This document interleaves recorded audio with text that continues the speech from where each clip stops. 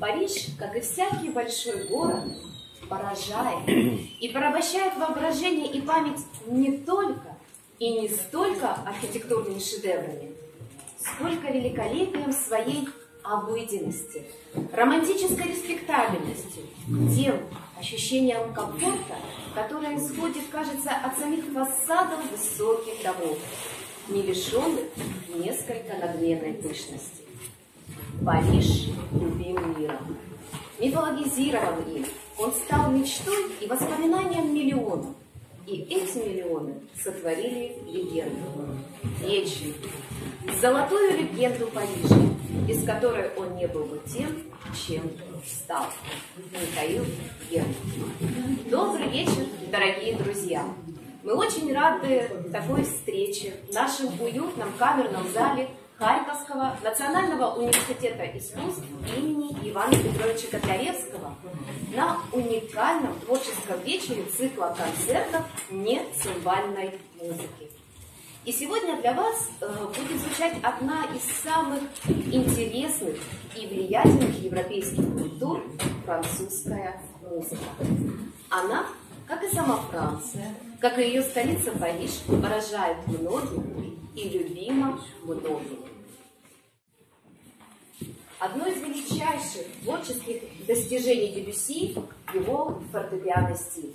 Пианизм Дебюси – это пианизм тонкого, прозрачного звучания, журчащих пассажей, господства колорита и изысканной педальной техники. Те же качества современники отмечали и в его игре, которая поражала в первую очередь удивительным характером звучания, чрезвычайной мягкостью, легкостью, текучестью, ласкающей артикуляцией, отсутствием ударных эффектов.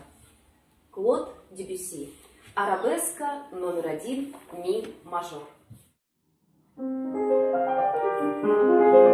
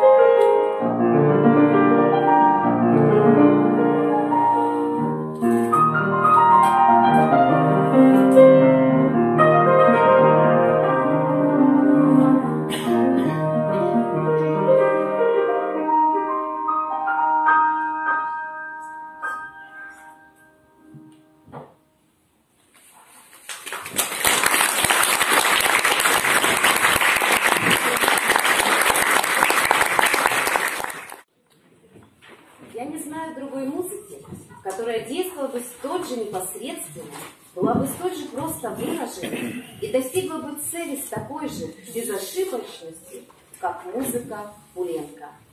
Дариус Мио. Однако не все так просто. Композитор Франсис Пулин – это две противоположные грани одного творческого человека.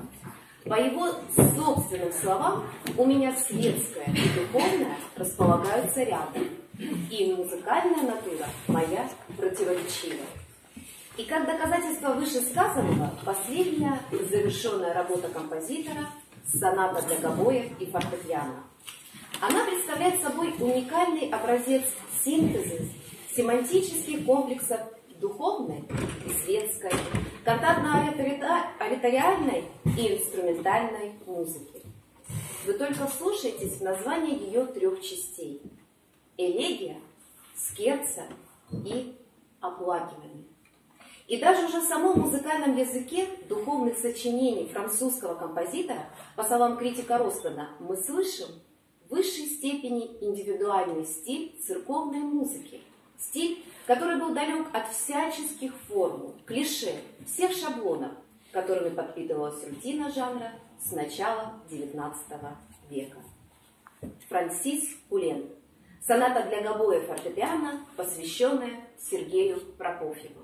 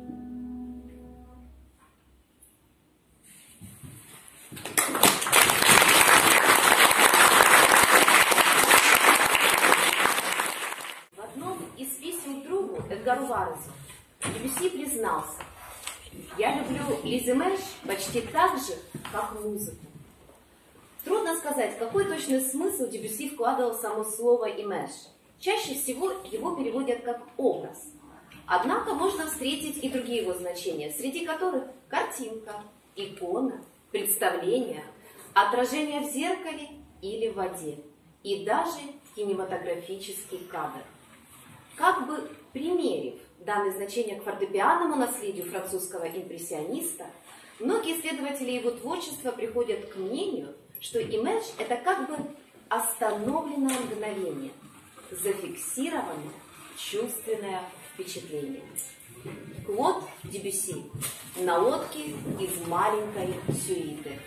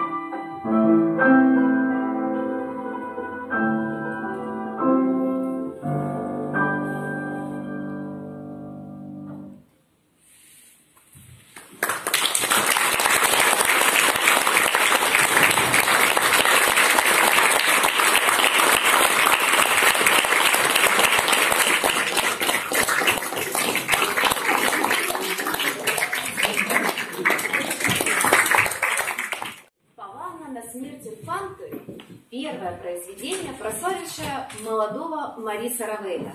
На момент ее создания молодому композитору было только 24 года, и он еще был учеником Габриэля Фаре. По признанию самого Равеля, называя пьесу так, композитор не имел в виду какую-либо конкретную историческую личность. Это как бы дань музыкальным традициям прошлого, а именно обращение к танцу, который могла бы танцевать в 17 столетии при испанском дворе маленькая принцесса, изображенная на картинах Диего Веласкеса. Впоследствии сам композитор достаточно сурово оценил эту пьесу. Он находил ее музыку несовершенной и не самостоятельной. Я не испытываю никакого стеснения, говоря о ней. Она достаточно давно была написана для того, чтобы при нынешнем рассмотрении быть переданной композитором критики. Из такой дали я не вижу больше ее достоинств, но, увы, хорошо примечаю недостатки. Слишком явное влияние Шабрие и довольно бедную форму. И несмотря на это, Павана Равеля любима и признана шедевром мировой классической музыки. Сочинение постоянно звучит на многих мировых концертных сценах. Марис Равель. Павана на смерть инфанты.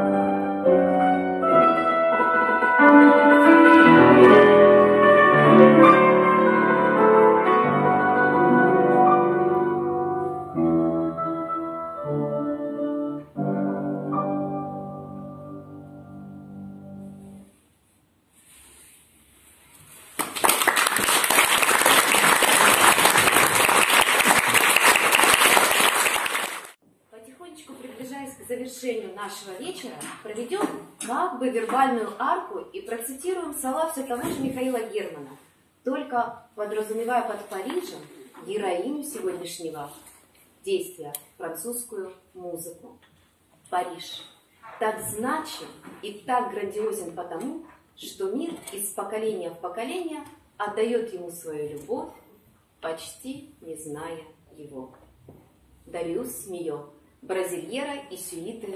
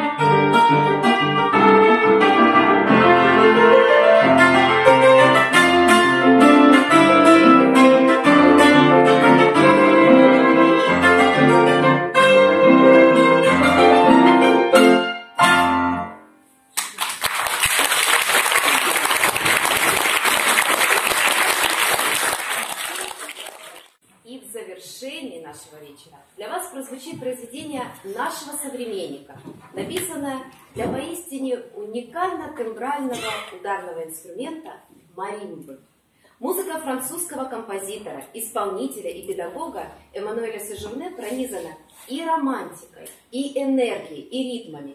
В ней прослеживается синтез и влияние западной классической музыки и различных направлений неакадемической культуры, таких как джаз, рок и неевропейская музыка. Эммануэль Сежурне. Концерт для маримбы и фортепиано. Первая часть.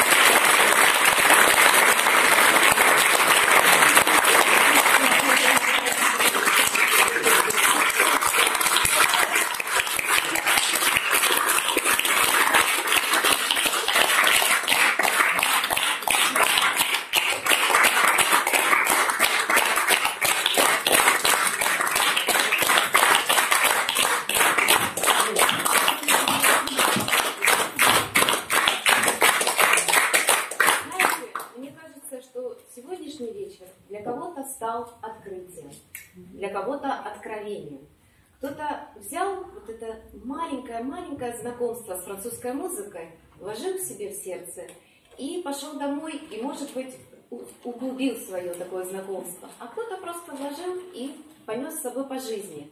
Но мне кажется, что сегодня отсюда никто не уйдет, оставшись равнодушным. И все благодаря такому творческому союзу, как лауреат международных конкурсов Анна Аулова.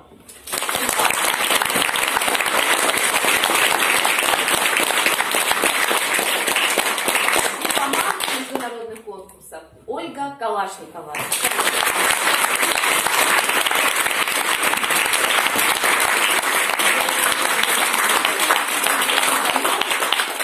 талантливому и мудрому руководству заслуженного деятеля искусства Украины, доцента Елены Афанасьевны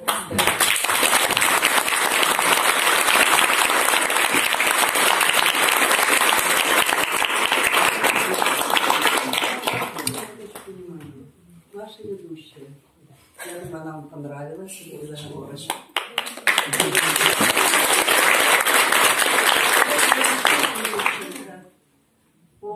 профессии цимбалист, лауреат международных всеукраинских конкурсов, кандидат, Олечка, извини, кандидат в мистецтвознавство и наша самая любимая и цимбалистка, и ведущая, и вообще.